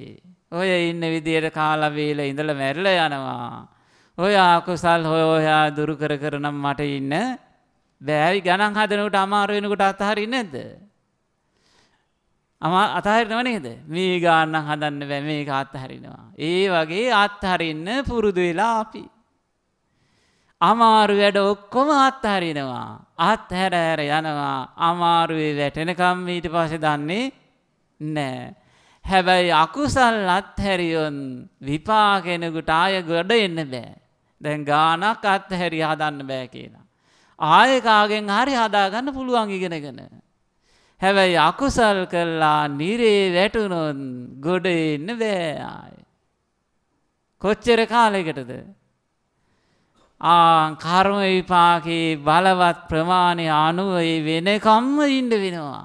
ආය ගොඩ එන්න බෑ දෙන දඬුවම් ඕන එකක් විඳින්න වෙනවා. අනේ මේ උලෙන් අනින එක එපා මට කියලා කිව්වට හරියන්නේ නෑ උලෙන් අනිනවාමයි. අර ලොකු යකඩ තියෙන කරත්තේ ඇඟ උඩින් යවනවා. අනේ මේක මට අමාරුයි මේක නම් එපා කිව්වට හරියන්නේ නෑ කරත්තේ යවනවාමයි ඇඟ උඩින් චැප් වෙනවා බිමටම. දේවදූත සූත්‍රයේ හොඳට තියෙනවා විස්තර ටික කියවලා ඇති නේද? ඊට පස්සේ කටුගහේ නගිනවා නංගනවා කසපාරවල් දිදී අනේ මට මේ කටු ඇනෙනවා අමාරුයි මාව බේරගන්නෝ කිව්වට කවුරුත් නෑ බේරගන්න අම්මත් නෑ. තාත්තත් නෑ. යාළුවොත් නෑ. පව් කරන්න උදව් කරපු අයත් කිසි කෙනෙක් නෑ අත දෙන්න.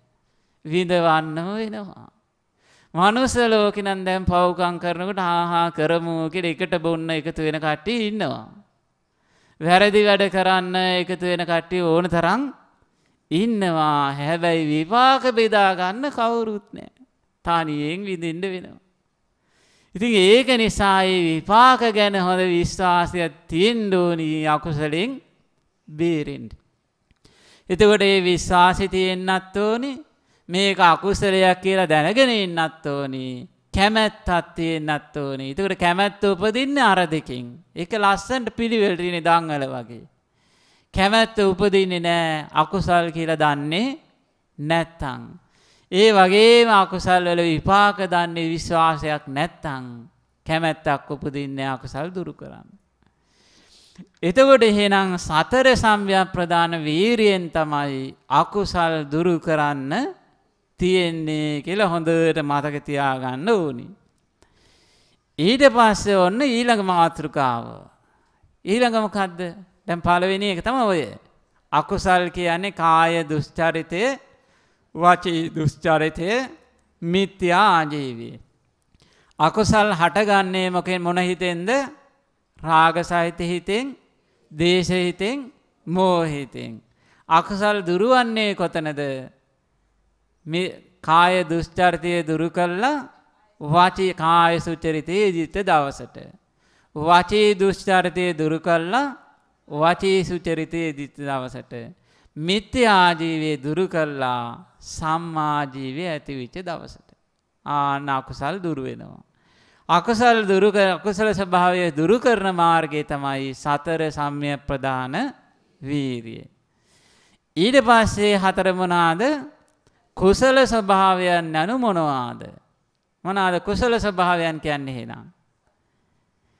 කාය සුචරිතේ වචී සුචරිතේ සම්මා ආජීවය කියනව තමයි කුසල ස්වභාවයන් කියලා කියන්නේ. ඒකට සත්තු මැරීමෙන් වැළකී වාසය කිරීම, හොරකමින් වැළකී වාසය කිරීම, වැරදි කාම සේවනයෙන් වැළකී වාසය කිරීම, කේලමින් වැළකී වාසය කිරීම, පරස වචන, හිස් වචන, මිත්‍යා ජීවෙන් වැළකී වාසය කිරීම තමයි කුසල ස්වභාවයන් කියලා කියන්නේ. එතකොට එහෙනම් ඊළඟ එක දැන් මතක හිටින්න ඕනි මතක් වෙන්න ඕනි ඊළඟ එක මෙහෙම වෙන්නේ නැති කියලා. කුසල ස්වභාවයන් හටගන්නේ මොකෙන්ද? දාකුසල ස්වභාවයන් හටගන්නේ මොකෙන්ද? හිතෙන්. මොන හිතෙන්ද? රාග දේශ මොහ හිත වලින් තමයි අකුසල ස්වභාවයන් හටගන්නේ. කුසල ස්වභාවයන් එනම් හටගන්නේ මොකෙන් වෙන්නේ නැතිද? ඒත් හිතෙන් මොන හිතෙන්ද? ආං වීත රාගී හිතෙන් රාගේ නැති සිතෙන්. දේශේ නැති හිතෙන් මෝහය නැති හිතෙන් තමයි කුසල් හටගන්නේ. දුර රාගයකින් කවදාවත් මේ රාග නැති රාග නැති සිතකින් කවදාවත් සතෙක් මරන්නේ නැහැ. හොරකමක් කරන්නේ නෑ කුසල්මයි යා තුළ ගොඩනැගෙන්නේ. එහෙනම් අපි තුළ යම් මොහොතක සතෙක් මරන්නේ කියලා හිතනවද? ආන් ඒ වෙලාවේ අපේ හිතේ තියෙන්නේ ලෝභ රහිත හිතක්, රාගේ නැති හිතක්. දේශේ නැති හිතක්, මෝහය නැති සිතක්. දැන් බලන්න චිත්තානුපස්සනාව වඩන කෙනෙක්ට හොඳ උපදේශයක් දැන් මෙතන තියෙනවා. හොරකමක් කරන්නේ නැති, කේලමක් කියන්නේ නැති, පරුස වචන කියන්න නැතුව හොඳ වචන කතා කර වෙලාවට. ඒ වගේම හිස් වචන නැතුව යහපත් වචන කතා කරනකොට ඇත්ත කතා කරනකොට. ඒ මොහොතේ වචනය තුළ අස්සේ තියෙන්නේ මොන සිතක්ද. රාග නැති සිතන්. දේශ නැති හිතන් මුක් නැති සිතන්. දැන් අපි බුදුගුණ සී කරනවා. ආන් ඒ බුදුගුණ සිහි කරනකොට ඒ බුදුගුණ සිහි කරන මොහොතේ අපේ තුල රාගය නැහැ. දේශය නැහැ. මෝහය නැහැ. වීත රාගී, වීත දෝෂී, වීත මෝහී හිතක් තමයි මේ මොහොතේ තියෙන්නේ. එහෙනම් මේ කුසල ස්වභාවයන් ඔක්කොම හටගන්නේ රාග දේශ මොහ නැති හිත් වලින් කියලා මතක තියාගන්න ඕනේ. එතකොට එහෙනම් දැනගන්න ඕනි මොකද්ද? කුසල ස්වභාවයන් මේවා කියලා දැනගන්න ඕනි. කුසල ස්වභාවයන් හටගන්න විදිහත් එහෙනම් මතක තියාගන්න ඕනි. කුසල ස්වභාවයන් නිරුද්ධ වන්නේ කොතනද?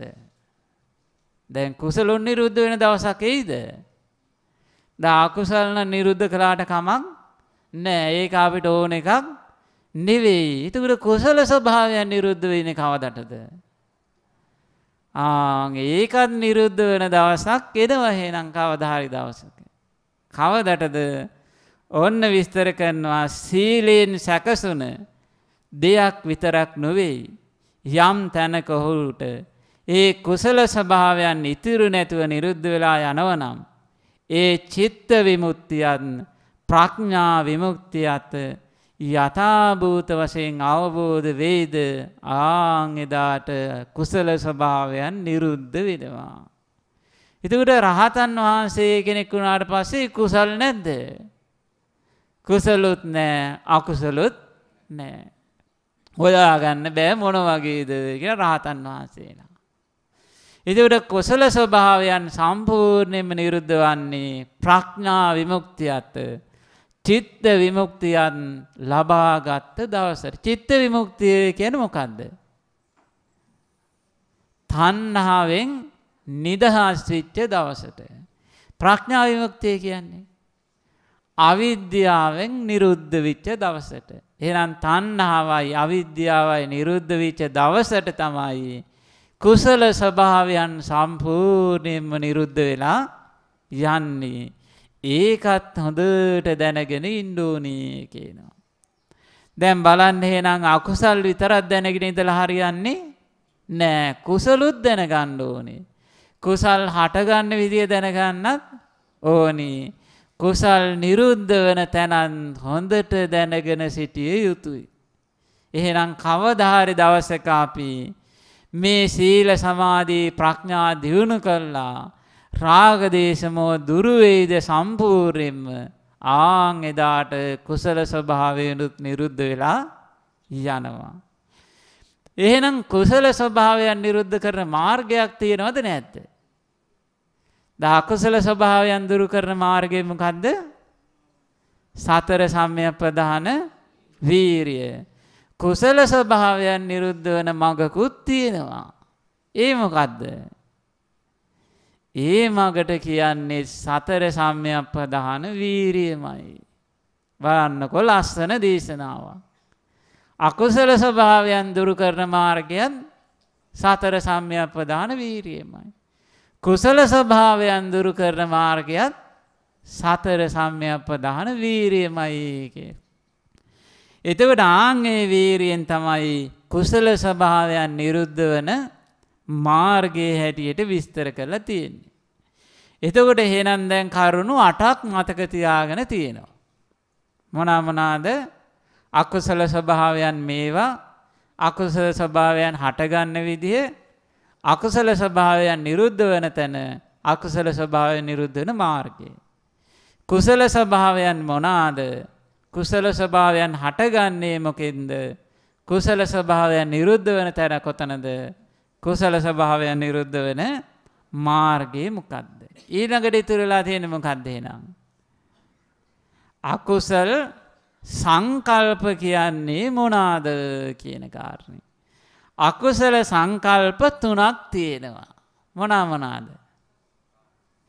ආන කාම සංකල්ප ව්‍යාපාද සංකල්ප හිංසා සංකල්ප කියලා තුනක් තියෙනවා.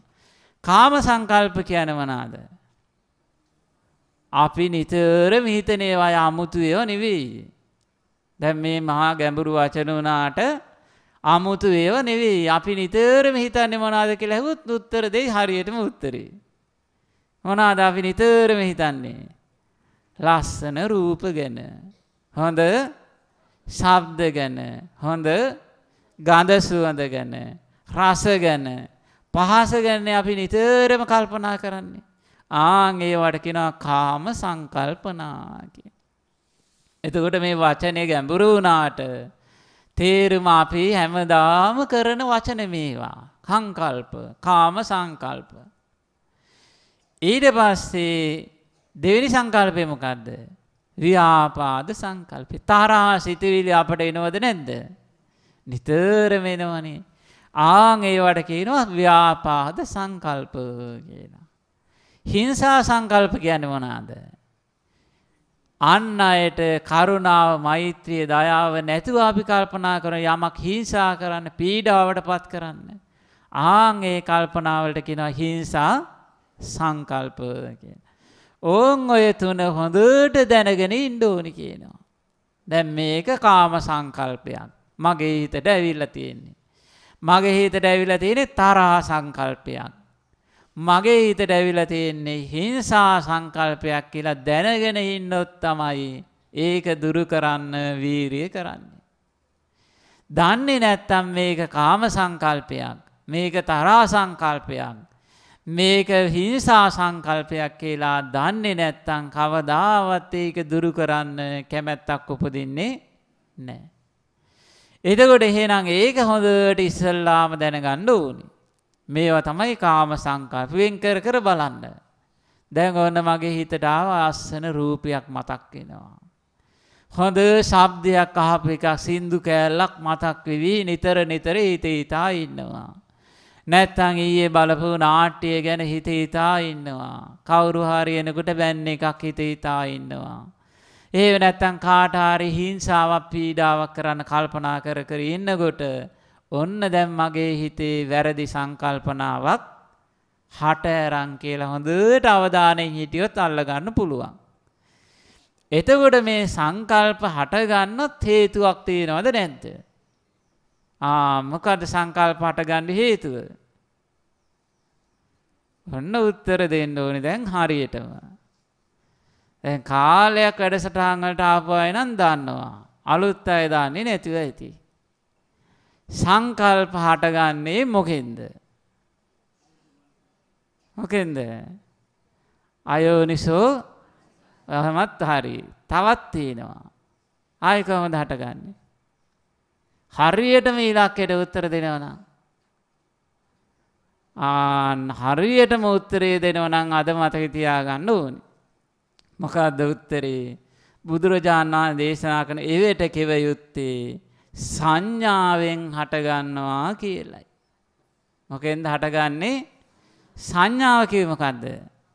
හඳුනා ගන්න දේට අනුව තමයි සංකල්ප හටගන්නේ කියලා මතක තියාගන්න ඕනේ. ආයෙ වරද්දන්න බෑ. කවර සංඥාවෙන්ද? මොන සංඥාවෙලින්ද? කාම සංඥා. වලින් කාම සංකල්ප හටගන්නවා. ව්‍යාපාද සංඥාවෙන් ව්‍යාපාද සංකල්ප හට ගන්නවා.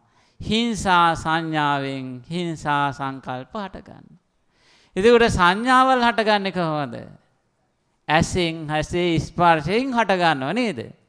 ඇසෙන් ලස්සන රූපයක් හටග දැක්ක හැටිය ඔන්න හඳුන ගන්නවා මේක ලස්සන රූපයක්. හඳුනගත්ත හැටියම මැසින් එක වැඩ කරන්න හෝ ගාලා. මොන මැසින් එකද? කාම සංඥා නැමැති මැසින් සංකල්ප නැමැති මැසින් එක වැඩ කරන්න ගාල නවත්තන්න බෑ. ඊට පස්සේ ඔන්න කවුරු හරි අකමැති රූපයක් දකිනවා. දැක් හැටි යමනාපයක් හට ගන්නකොටම හිතේ ඔන්න වැරදි සංකල්ප හට ගන්නවා. බයින්න හිතෙනවා.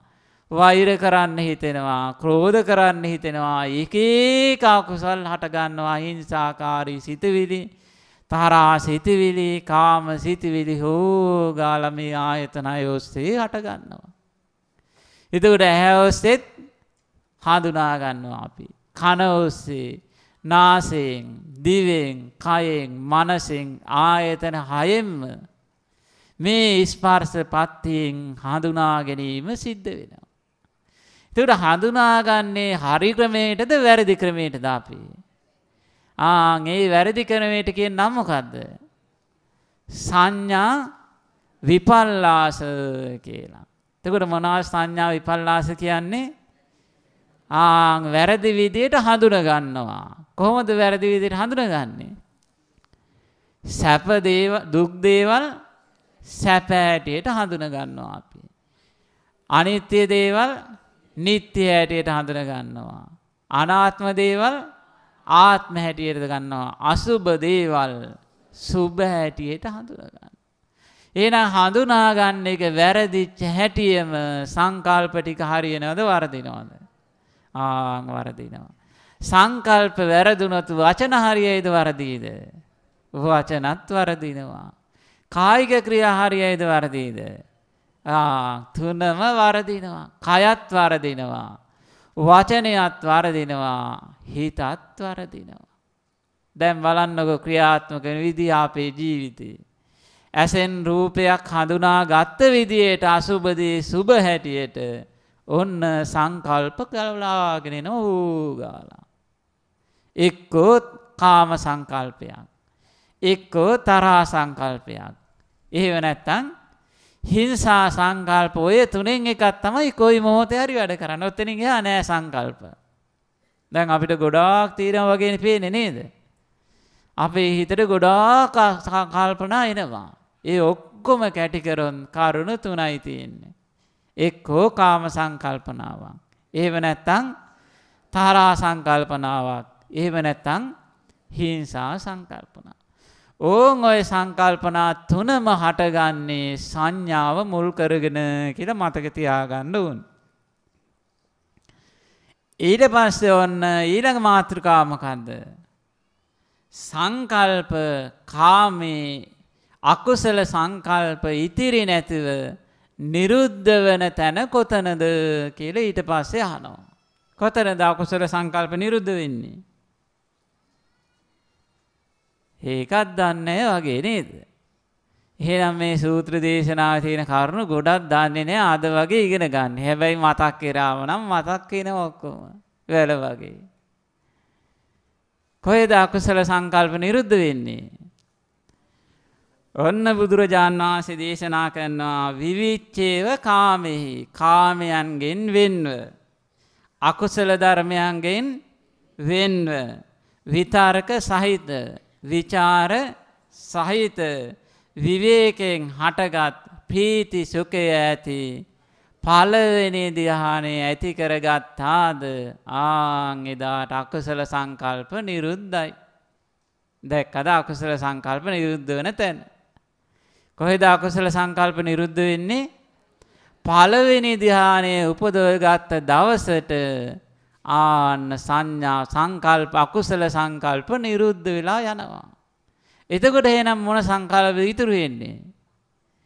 ආ කුසල සංකල්ප ඉතුරු වේවි. අකුසල සංකල්ප නිරුද්ධ වෙලා යනවා. පළවෙනි ධ්‍යානය ඇති කර ගන්නකොට. එතකොට එහෙනම් අකුසල සංකල්ප නිරුද්ධ කරන මාර්ගය මොකක් වෙන්නේ නැතිද? ඒකටත් කියන්නේ සතර සම්‍යක් ප්‍රධාන වීරියමයි. බලන්න ඒකටත් තියෙන මග මොකද්ද? සතර සම්‍යක් ප්‍රධාන වීරියමයි. එහෙනම් අකුසල සංකල්ප දුරු කරන මාර්ගයත් සතර සම්‍යක් ප්‍රදාන වීරියෙන්මයි පළවෙනි ධ්‍යානය උපදව ගන්න තියෙන්නේ. පළවෙනි ධ්‍යානය උපදිනකොට අකුසල සංකල්ප නිරුද්ධ වෙලා යනවා. එතකොට අකුසල සංකල්ප නිරුද්ධ වෙනවා නම් අකුසල සංඥා හටගන්නේ නැහැ. ඇහෙන් ලස්සන රූපයක් දැක්කට කාම සංකල්ප හටගන්නේ නැහැ. හොඳ ශබ්දයක් ඇහුනට කාම සංකල්ප හටගන්නේ නෑ. හොඳ ගඳ සුවඳක් දැනුනට දැන් බල භාවනා කරගෙන ඉන්නවා. හොඳට භාවනා කරගෙන පළවෙනි ධ්‍යානය ඇති කරගත්තා. ලස්සන රූපයක් ඉස්සරහින් පේන තියෙනවා. කාම සංකල්ප හටගනීද නැද්ද? නෑ. හොඳ ශබ්දයක් වීණා ශබ්දයක් හොඳ ආස කරන ශබ්දයක් ඇහෙන්න දානවා. කාම සංකල්ප හටගනීද නැද්ද? නෑයි සංඥා එන්නේ නෑ හිතට. සංඥා නැති නිසා සංකල්ප හටගන්න විදිහක් නෑ. හොඳ සුවඳක් හමාගෙන යනවා හිතෙන් භාවනා කරන තැනින්. දැනෙනවද? දැනුණට කාම සංකල්ප හටගන්නේ නෑ. හොඳ පහසක් හොඳ රසයක් දැනුණට ආන් කාම සංකල්ප හටගන්නේ. පළවෙනි ධ්‍යානය ඇති කරගෙන එනකොට අමනාප කවුරු හරි බයිනව හූ ගාලා. තරහසිකද ලෙනවද නෑ. දැන් බලන්නක එහෙනම් පළවෙනි ධ්‍යානය ඇති කරගත්තොත් කාම සංකල්පනා නෑ. තරහා සංකල්පනා නෑ. හිංසා සංකල්පනා එන්නේ එතකොට කොච්චර පහසුවක් ඇති වෙයිද? කරලා බලන්න ඕනේ නේද එතකොට ඔන්න එහෙනම් ඒ පළවෙනි ධ්‍යානයේ උපදවගෙන කාම සංකල්පනා නිරුද්ධ කරන මාර්ගයත් ආර්ය අෂ්ට මේ සතර සම්‍යක් ප්‍රදාන වීරියමයි. ඊට පස්සේ එහෙනම් කුසල සංකල්ප කියන්නේ මොනවාද? මොනවාද ඒක කුසල සංකල්ප කියන්නේ?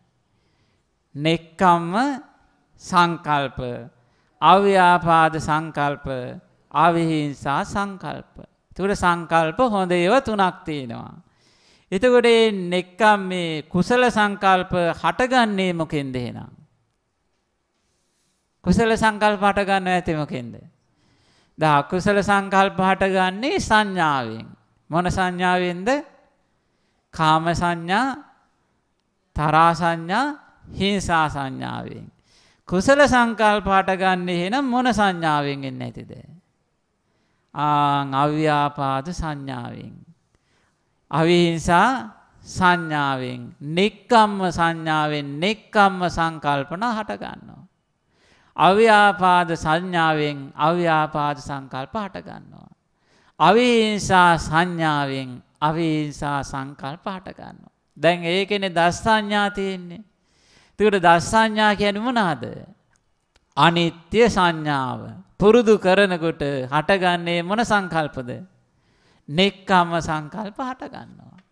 ඊට පස්සේ නෙක් මේ දුක්ඛ සංඥාව අනාත්ම සංඥාව ආන් ඒ සංඥාවල් පුරුදු කරනකොට කුසල සංකල්ප හට ගන්නවා. කුසල සංකල්ප නිරුද්ධ වෙන තැනකුත් තියෙනවා. කොයිද? කුසල සංකල්ප නිරුද්ධ වන්නේ කොතනදීද? ද අකුසල සංකල්ප නිරුද්ධ වන්නේ කොතනද? පළවෙනි ධ්‍යානයේදී. කුසල සංකල්ප නිරුද්ධ වන තැන කොහෙද එහෙනම්? කුසල සංකල්ප නිරුද්ධ වන්නේ දෙවෙනි ධානයේදී විතක්ක ਵਿਚාර සංසිඳෙනවා. ආන් එතකොට කුසල සංකල්ප නිරුද්ධ වෙලා යනවා. දැන් කුසල් අරමුණක්නේ අපි භාවනා කරනකොට පුරුදු කරන්නේ.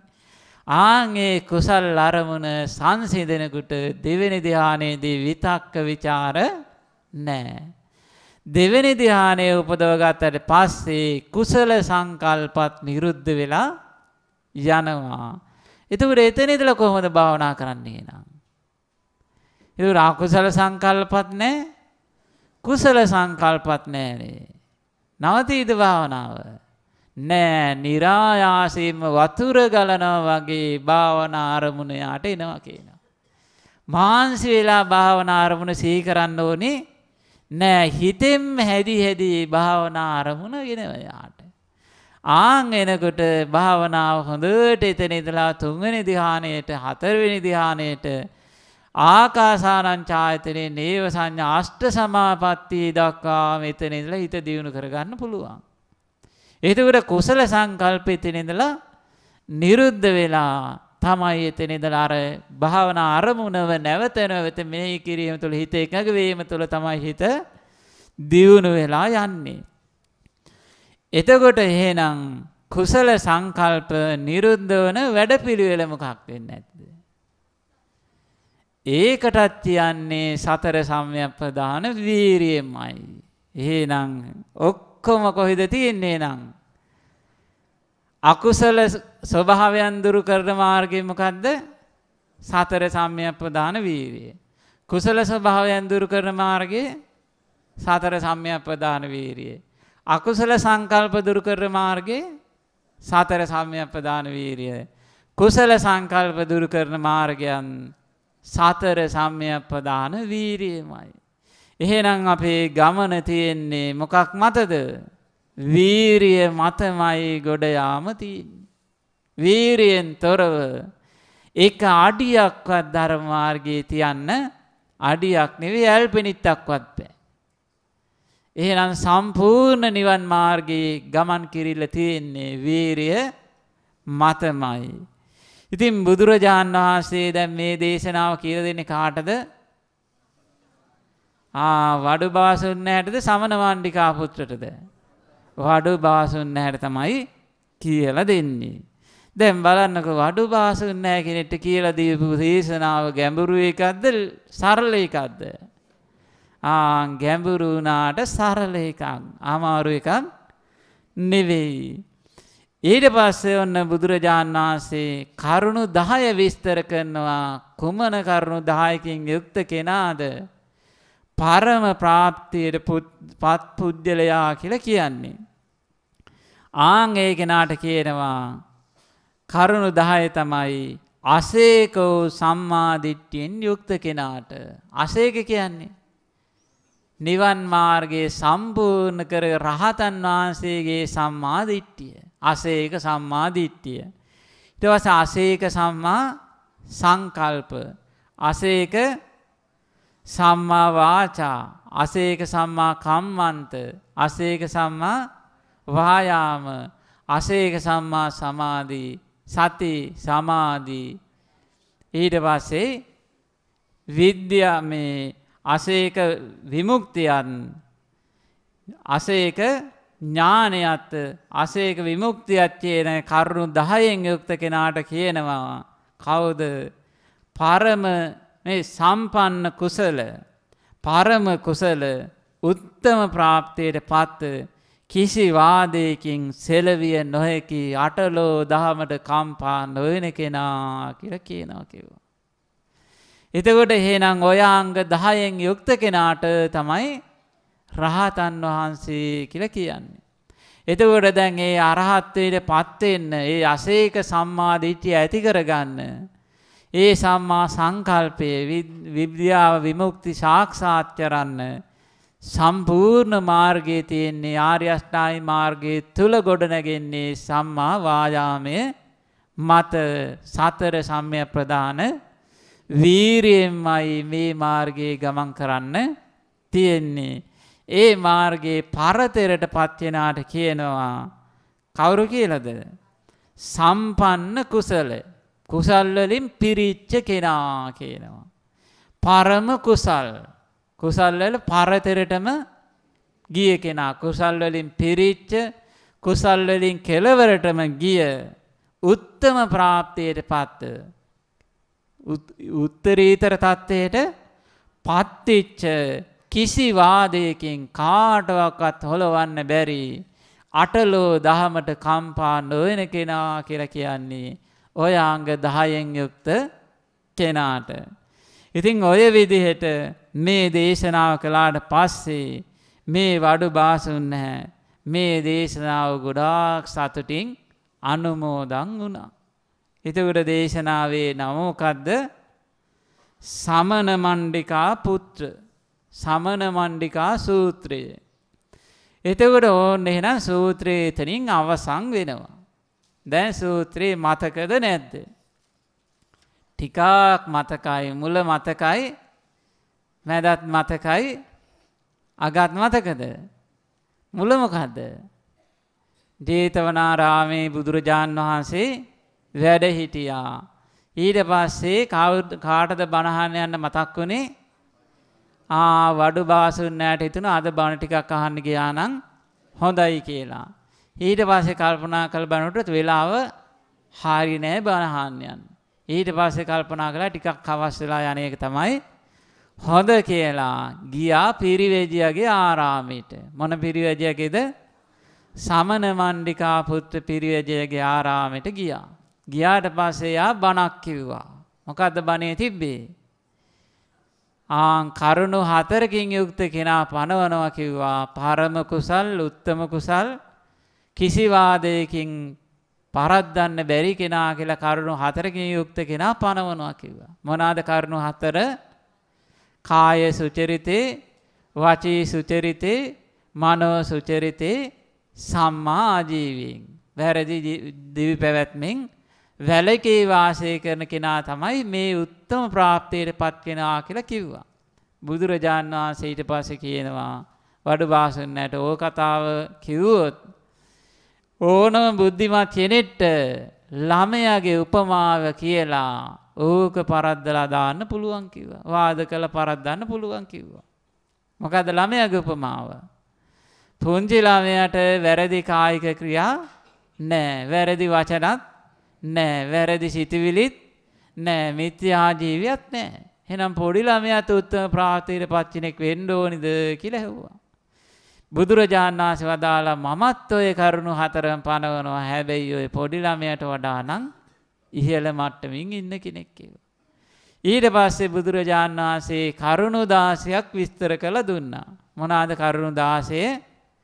අකුසල ස්වභාවයන් අකුසල ස්වභාවයන් හටගන්න විදිය අකුසල ස්වභාවයන් නැති වෙන විදිහන අකුසල ස්වභාවයන් නැති වෙන මාර්ගය. ඊට පස්සේ කුසල ස්වභාවයන් කුසල ස්වභාවයන් හටගන්නා විදිහ කුසල ස්වභාවයන් නැති වෙන විදිහ කුසල ස්වභාවයන් නැති වෙන මාර්ගය. ඊට පස්සේ අකුසල ස්වභාවය මේ අකුසල සංකල්ප අකුසල සංකල්ප හටගන්නා විදිය අකුසල සංකල්ප නිරුද්ධ වන තැන අකුසල සංකල්ප නිරුද්ධ වන මාර්ගය. ඊට පස්සේ කුසල සංකල්ප කුසල සංකල්ප හටගන්නා විදිය කුසල සංකල්ප නිරුද්ධ වන තැන කුසල සංකල්ප නිරුද්ධ වන මාර්ගය ගැන විස්තර කළා. එතකොට ඒ කරුණු 16 විස්තර කළා කිව්වා අංග 10කින් යුක්ත කෙනා තමයි උත්තම ප්‍රාත්‍යයටපත් ධර්මයේ අවබෝධ කරපු සතර මේ අටලෝ දහමින් කම්පා නොවන කාටවත් වාද කළා පරද්දන්න බැරි කෙනා කියලා කිව්වේ කොයි අංග 10ද? අසේක වූ සම්මා දිට්ඨිය, සම්මා සංකල්ප, සම්මා වාචා, සම්මා කම්මන්ත, සම්මා ආජීව, සම්මා වායාම, සම්මා සති, සම්මා සමාධි, සම්මා ඥාන, සම්මා විමුක්ති. ආන් ඒ කරුණු 10 අසේක රහතන් වහන්සේ නිවන් මඟ සම්පූර්ණ කරපු කෙනාට ආන් ඒ අංග 10න් යුක්ත කෙනා තමයි ලෝකේ කාටවත් පරද්දන්න බැරි කිසි වාදයකින් පරද්දන්න බැරි උත්තම කුසල් වලට පැමිණි කුසල් වලින් පිරිච්ච ජීවිතයක් ගත කරන කෙනා කියලා කියන්නේ. ඉතින් ඒ නිසා අද දවසේ මේ දේශනාවෙන් රැස්ුණා වූ දහම් කරුණු ඉගෙන ගත්තා වූ දහම් කරුණු සියල්ලත් ඒ වගේම දහම් කරුණු ඉගෙන ගැනීමෙන් රැස්ුණා වූ සියලු පිටින් සියලු දෙනාටම අසේක සම්මා දිට්ඨි සම්මා සංකල්පාදී අංග 10න් යුක්ත ඒ රහතන් වහන්සේලා සිහිපත් කරගෙන ඒ රහතන් වහන්සේලා ක්‍රී හිත පහදවාගෙන ඒ උත්තම චතුරාර්ය සත්‍ය අවබෝධ කරගන්න මන් මේ පින උපකාරයක්ම වේවා. සාදු සාදු සාදු.